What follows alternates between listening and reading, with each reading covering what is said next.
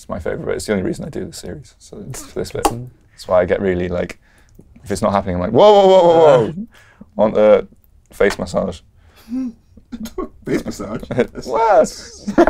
That's very. You call it what you want. I'll call it what I want. brow We're all, strokes. we're all happy.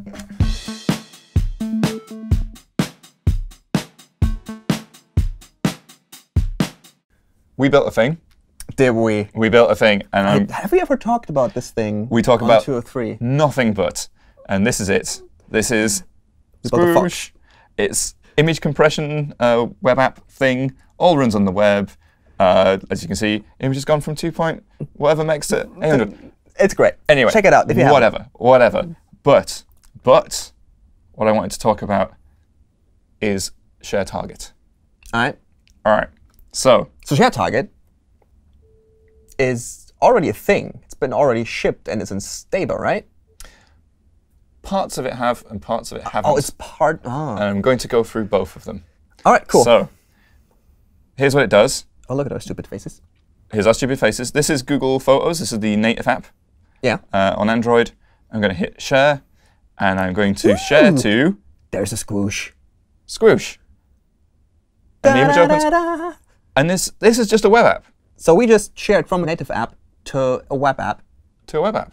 That's pretty cool. and Which is even its, nice. its entire image and things. Yes, and it works, and it feels like a, a real native experience. So now I can actually, I mean, this is the workflow that we were have been missing, right? Because you want to compress your image. How do you get your image from Photos into Squoosh? You have to open Squoosh, say load an image, select the Photos app, then you get the selector of all the images. And Yeah. now you go image flunk. Yes, and so anything that can share The images, official sound, isn't it? flunk. yeah, well, it means you could do that from Twitter, from anything that Yeah. will actually share an image. You could then take it straight into Squoosh. So is that only for, it's a manifest thing, I presume? It is. This is one of the few PWA only features that we have. I mean, the you mean only once it, it's installed, it will actually work. Exactly. So yes. visiting the page, like if I visited Squoosh in my browser, it will not register as a share target. it will not register as a share target. Cool. The way you do it, like you say, is in the web app manifest. So mm-hmm. You know these things, okay? name, start URL, that's all the usual stuff. But then, ooh, Share target. share targets. Okay. And then an action.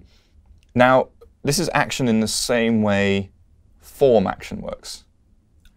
So, Okay. because what share target's going to do, the way it's going to share the things is it's going to make uh, like a, a form submission. So like a post request. Well, you get Or to not. specify the method, and this works All right, the same. in the form, you do that as well, actually. Now they say that. I haven't done form in ages, now they say that. But yeah, yeah, well, this is it. It's, it does exactly the same as like what a form. method Cool. does, and you can specify the encoding type, uh, which is so we the spell same out as share how form target, but encoding type we shorten to enc type. because that's the attribute on the form element.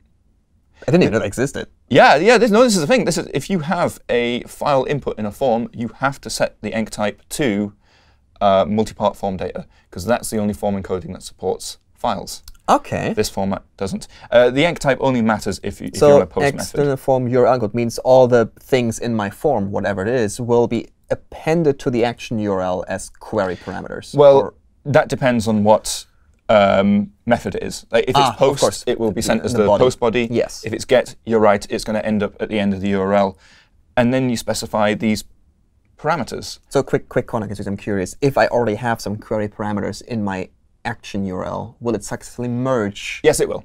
Yeah. Ooh, Yeah. Okay, cool. I imagine. Not tested it, but that is. Okay. But that's what form does. Okay, So cool. We would expect the same thing here.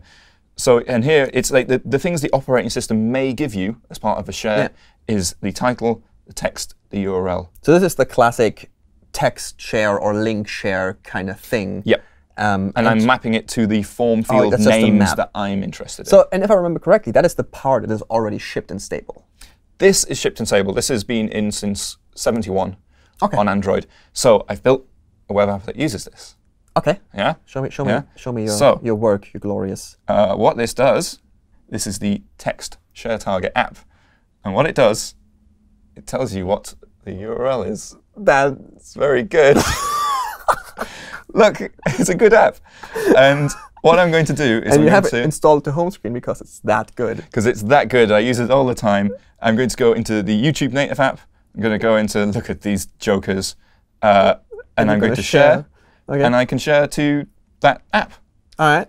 And if I share, there you go.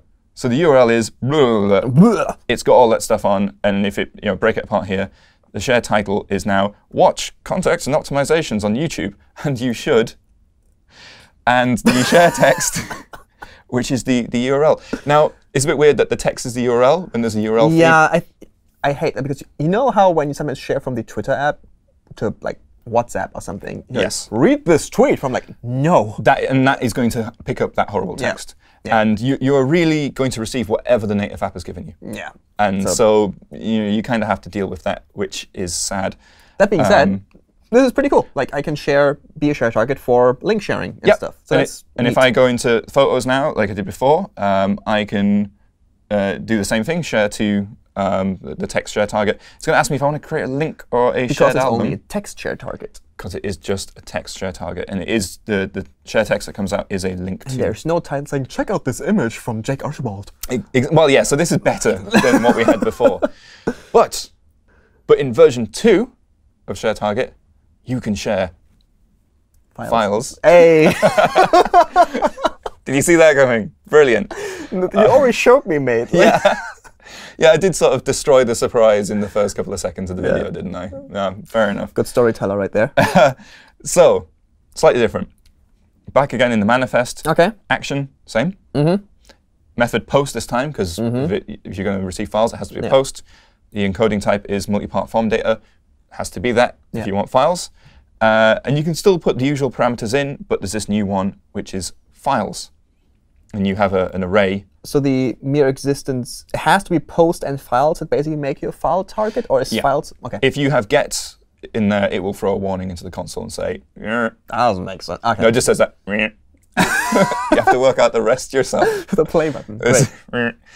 Uh, so here I'm saying files, and this is uh, the mapping again. I'm saying the name of the form field is Yeah. file. I can call that whatever I Oh, want. and you can filter by MIME type. That's good. and you can filter by MIME type. If you just want to have Um, images, you can say image slash star, I presume. Yeah, which is actually, we had this problem in Squoosh where, because because we've made it so you can load WebP in browsers that don't support Yeah. WebP, but if you try and filter by MIME type, the browser goes, I don't understand what WebP is. This is not an image. So we had to sort of do this same hack, even though we're wanting to receive images, we had to say, well, we'll accept anything because we will take file formats the operating system browser doesn't Makes understand. sense. Yeah. Okay. Um, so yeah, th- that's that's that. And so that you say this gives me a post request, right? So Yes. that is not as easy to handle as a get request with, with parameters. Yes, I mean by default, this will just go to your server, and your server handles it. True. Which might be okay in some cases. Yeah. But for Squoosh, we want it to work offline. So we want we don't want this to actually go to the server. We don't want it to depend on There the is server. no server. We are serverless. We're serverless, another buzzword that we uh, that we encompass. So in order to solve this, service Into worker. the service worker we go. Yes. All right. So now this is, I think it's, this would be the first time, no, the second, no, the first time I'm handling a post request in my service worker, I think. yeah. Yeah, although I think, no, maybe in WordPress when you post a comment, I did it. Maybe. I've done it before to trap um, post requests that didn't work and save them for later. That sort Oh, of with thing. background sync, yeah. With background sync. But in this case, what I'm going to do, look at the URL, if it's the same origin request, and if it's to the share target, this is all what we set up in. The, Yeah. This is all what we set up in the manifest. And if it's a post thing, we're going to do something else. We're going to do Yeah. something magic. Uh, it's not magic. The it's rest stays the same, but yeah. Yes, so you would still have the rest of your service worker logic there. We're just catching this one case. Uh, and what we're going to do, going to respond with a redirect. Okay. And this is basically what you would do on the server side. Yeah, I think you basically never respond to a post request with content. You either would- say no content or a redirect. You, you would sometimes respond with a content if it was an error in the post, because you Yeah, would okay, serve back error, the yeah. form with all the data, but one field Yeah. saying this one's wrong. Um, but if stuff is correct, you tend to serve a redirect, and that's because I don't know. You might have seen this where you hit refresh on a page and it says Do you want to resubmit? Exactly. And th- that's because this page was a post response, Yeah. a response to a post request. So you serve a redirect, that makes it a get request, and the user can hit refresh and it's not a problem. So we're just doing that. So with the redirect, the body will still get forward. No, that will make the browser do a GET request after, right? Yes. So you will have to read the body on Yes. the post request and then pass it along to the GET request somehow. To the page. Well, no, we can pass it along to just to the page Um, oh, yeah, yeah, okay. mm. There are redirect codes that say you should, if, if this was a post request, you should do a post request again with the same data. Um, but this, the default redirect stuff doesn't do that. Yeah. Okay. So basically, what you're doing is you're, you're ripping out the the body from the post requests. Meanwhile, you're redirecting the client, which will send a get request, hit your normal service worker path, Yep. hit the cache, load the page. Great. Yeah, that's an important detail, actually. A redirect, it will send it back through the service worker. Yeah. Um, but So now the, the page is up. well, the, well, the page is not up yet because this is at the same time we are going to, as you say, we're going to Yeah. get that form data, which is what the share target's given us. It's going to give us that file. Um, we're going to do this, and this is relatively clients. Yeah, So I know clients exists. It's Yeah. like all the clients, the, the tabs, if you want to And say some- workers. and workers. Yeah. Uh, simply said that belong to the service worker, right? Or that Yes. are handled by the service worker. yes, the ones that are controlled. You can actually get all of the ones for the origin as well. Yeah. Um, So, so I've never used it. I know it exists, but this will be the first time I have seen a use case for it. And this is quite a new bit here, this resulting client ID. And what uh, what it's saying is like, there's not a page yet, but here's a, a- an ID for it for when it, whenever it appears.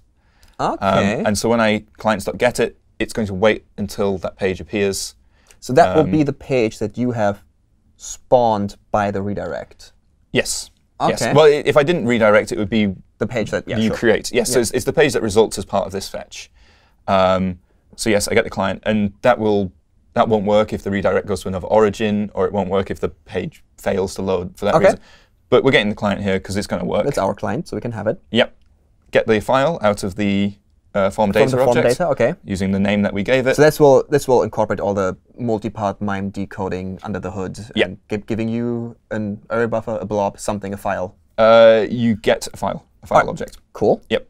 And now I'm going to post message that to the page. Oh, post message. There good it is old, again. Good old post message. And that means over in my page, I can listen for that message. Why didn't you transfer the file? Is it transferable? I probably should transfer it.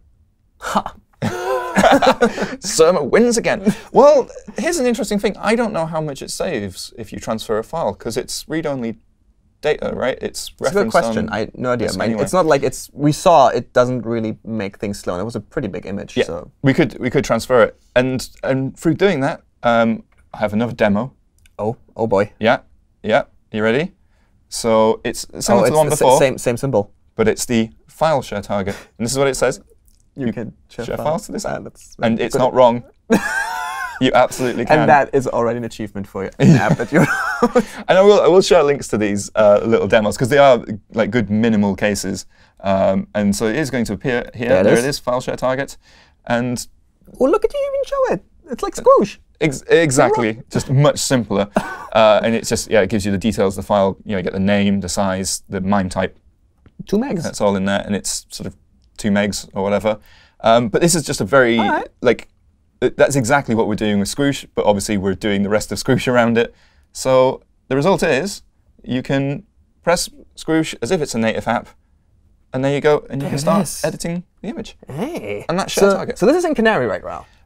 This Right- is in right now? Right, right, right, right. Right Oh, now. where's we're in Canary right?